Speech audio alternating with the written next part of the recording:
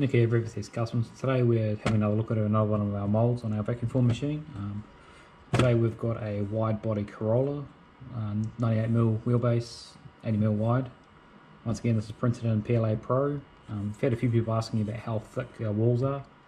Uh, our top layers we do 6mm and our side walls are 3mm with a, we sort of vary our infill so I think this one's about a 60% grit infill.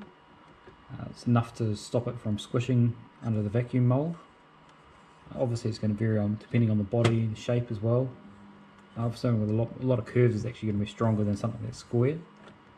Um, so we've also had people asking as well, how, how well do these hold up? Well, we don't actually leave this while the machine's heating. We normally take this out as well to avoid as much heat as possible and put this in at the last second.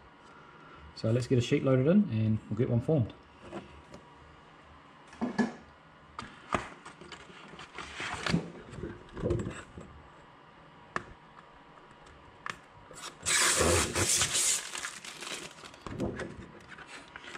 Very simple as other videos. Just peel the protective coating off, slide it in. This is um, half a mil thick PETG, which is ample for what we're using. And, you know, turn the machine on and let it heat up. Just about up to temp now, put the mould in place. There we go.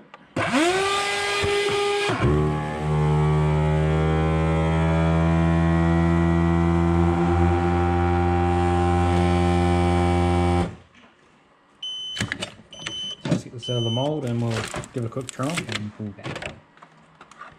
So it's all moulded up. It's moulded up quite well. Um, as you can see, we only run two holes in these. We've um, sort of allow for a little bit of suction between our guards because the first one we ever moulded sort of got a little bit of an air pocket in there. But I mean, it's come up, come up great. Um, you still do get a few little 3D printing marks in these, but with a good couple of coats of paint, it removes it all. So uh, if anyone wants to pick up one of these machines to do this, it's obviously the biggest part is designing your molds. Um, you can't just go on Thingiverse and download something that's going to work. You're going to have to design your own. Um, but it's well worth the time. Once you've got one mold done, you know you can get quite a lot of use out of it. So if you guys want to pick these bodies up, we are actually got these in sale in our store.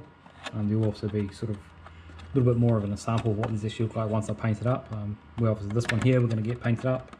The stickers on that we've designed up. Um, we've got window masks that we do for these as well, so they're not just a black window, they're going to be all clear. So head over to the store if you want to see one of these all finished up. Um, till the next video, have a good one.